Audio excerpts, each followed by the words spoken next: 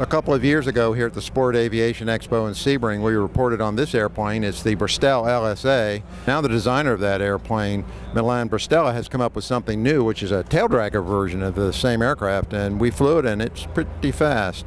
We talked to Lou Mancuso about why his company decided to pick it up as a dealer. Created the TDO for the excitement and nostalgia of tail dragger flying and also for the added performance that you get without the drag of the nose gear and the weight.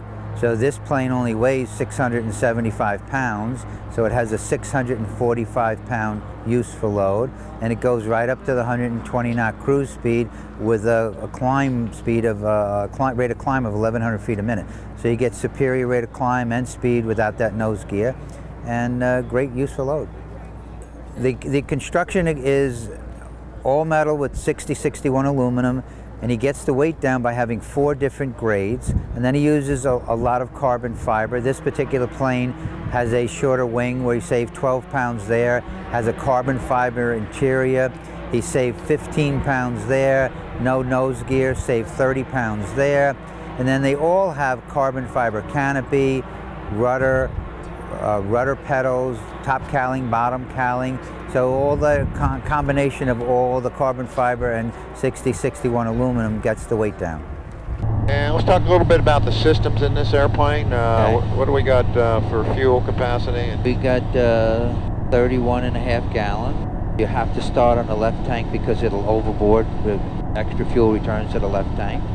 Other than that, once your first half hour, the Garmin's tell you to switch every half hour.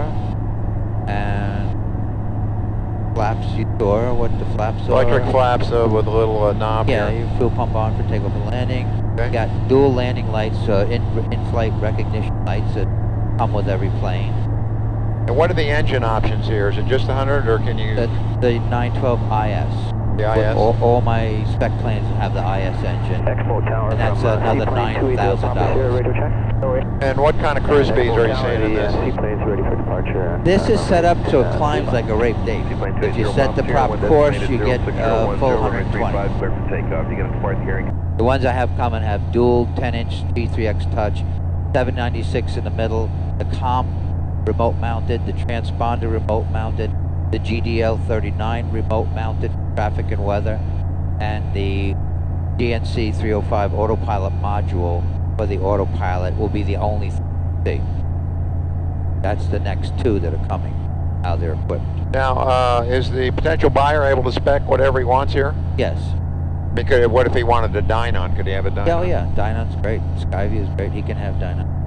You can find out more about the airplanes at bristellaircraft.com and you can also find out more about our training program which is uh, Bristell Defying Gravity which is comprised of our PLC, Personal Limitations Checklist, GPA, Ground Proximity Awareness Training, and DF-GAP, Defined Go-Around Point. And these are unique training protocols that make our brand safer than anybody.